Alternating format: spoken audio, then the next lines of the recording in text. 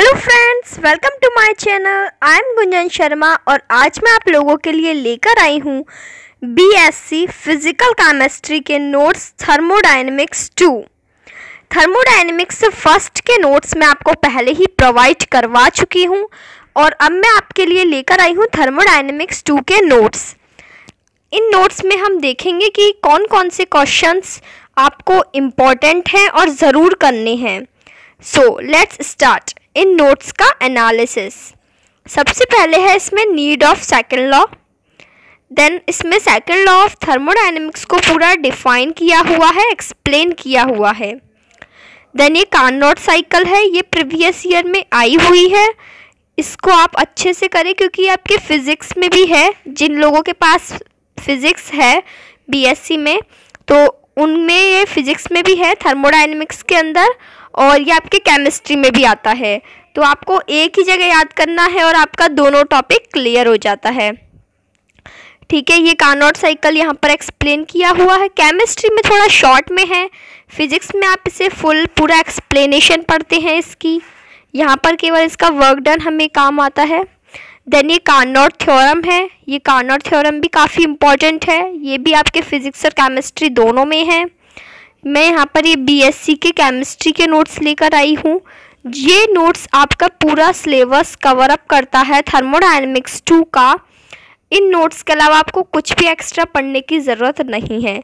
जो आपके जितने भी प्रीवियस ईयर के क्वेश्चंस हैं, सारे आपको इसमें मिल जाएँगे, क्योंकि प्रीवियस ईयर के क्वेश्चंस इंपॉर्टेंट होते हैं बीएससी में। इसलिए वो सारे क्वेश्चंस मैंने यहाँ पर डाले हैं। इसके अलावा आपका थर्मोडाइनमिक्स टू में जो जो क्वेश्चन जो जो टॉपिक्स हैं वो सारे नोट्स में आपको कवर हो जाएँगे। इसलिए आप इन नोट्स को खुद से पढ़ के देखें। इनकी लैंग्वेज बहुत ही ईजी है। आपको आसानी से समझ में आ जाएँगे।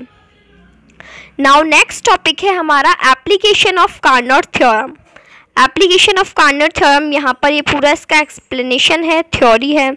देन एंट्रोपी स्टार्ट हो जाती है यहाँ से। ये derivation entropy as a function of state यहाँ पर ये फंडामेंटल इक्वेशन है. थर्मोडाइनमिक्स की ये निकाली हुई है. तो इसे आप अच्छे से देख लें. Then entropy as a function of temperature and volume इसका डेरिवेशन आता है. तो इसलिए आप इसे अच्छे से करें. पूरा एक एक लाइन मैंने यहाँ पर अच्छे से डिराइव की है. कोई भी लाइन डायरेक्ट नहीं लिखी है. समझने में आपको कोई भी दिक्कत नहीं होगी. देन नेक्स्ट है entropy as a function of temperature and pressure वहाँ पर हमने पढ़ा था टेम्परेचर एंड वॉल्यूम यहाँ पर है टेम्परेचर एंड प्रेशर तो इसका डेरिवेशन भी सिंपल है। मैंने यहाँ पर पूरा इसको डिराइव किया हुआ है शॉर्ट में बिल्कुल, ताकि आपको अच्छे से समझ में आ जाए। देन है ट्रिटॉन्स लॉ ये ट्रिट्रॉन्स लॉ एक नंबर में आया हुआ है तो इसलिए छोटे मार्क्स का इसलिए इसको ज़्यादा मैंने एक्सप्लेन नहीं किया है।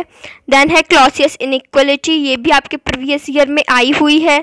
इसे भी आप बिल्कुल ना छोड़ें इंपॉर्टेंट टॉपिक है। Then condition for thermal equilibrium ये भी आ चुकी है प्रीवियस ईयर के क्वेश्चंस में। मैंने प्रीवियस ईयर के सारे क्वेश्चंस पढ़ने के बाद नोट्स को बनाया है उसका पूरा सिलेबस देखा है, एक भी टॉपिक छूटने ना पाए, ताकि आप इन नोट्स को ही पढ़ के टॉप कर सके बीएससी में। जी हाँ ये नोट्स एक टॉपर के ही हैं। Entropy change in ideal gas ये यहाँ पर इसका एंट्रोपी का डेरिवेशन आता है एग्ज़ाम्स में। देन है entropy of a mixture of ideal gas इसका डेरिवेशन भी आया हुआ है प्रीवियस ईयर के क्वेश्चंस में। ये यहाँ पर मैंने एक क्वेश्चन बताया है। ये क्वेश्चन आ चुका है पहले। देन है most most important Nernst heat theorem ये भी आपके फिजिक्स और केमिस्ट्री दोनों में आती है। देन है entropy change in chemical reaction ये यहाँ पर इसका डेरिवेशन है। देन है फ़िज़िकल सिग्निफिकेंस ऑफ़ एंट्रोपी इसमें कुछ थ्योरी है तो आप पढ़ेंगे, आपको समझ में आ जाएगा। नाउ नेक्स्ट इंपॉर्टेंट टॉपिक है आपका Gibbs and Helmholtz function Gibbs and Helmholtz function इसका डेरिवेशन आया हुआ है। तो आप इसे पढ़िए डेरिवेशन हाथ से सॉल्व ज़रूर कर लें। एक बार, क्योंकि जब तक आप हाथ से सॉल्व नहीं करेंगे, तब तक ये आपके हाथ को याद नहीं होगा और आप एग्ज़ाम्स में अटक सकते हैं। इसलिए एक बार खुद से डेरिवेशन ज़रूर निकाल लें। देन नेक्स्ट है इसमें फंडामेंटल इक्वेशन ऑफ़ थर्मोडाइनमिक्स तो यहाँ पर ये इसका डेरिवेशन है पूरा। नाउ नेक्स्ट है गिप्स इक्वेशन ये 2016 में आई हुई है।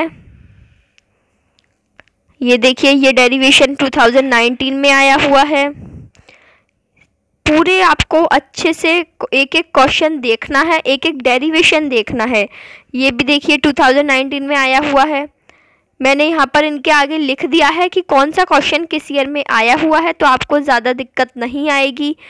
आप इन नोट्स को पढ़िए बस। इन नोट्स से बाहर एक भी क्वेश्चन नहीं जाने वाला बीएससी में। सो so, आप आपके ये नोट्स पूरे होते हैं? इन नोट्स के अलावा बीएससी केमिस्ट्री के बाकी सारे नोट्स आप मेरे चैनल की प्लेलिस्ट पर जाएँ वहाँ पर आपको सारे नोट्स मिल जाएँगे विथ एक्सप्लेनेशन सारे नोट्स आप डिस्क्रिप्शन बॉक्स में पीडीएफ की लिंक दी हुई है, वहाँ से डाउनलोड करें, खुद से पढ़ें। और फिर भी यदि आपको कहीं भी कोई भी दिक्कत होती है समझने में तो आप कमेंट बॉक्स में कमेंट कर सकते हैं।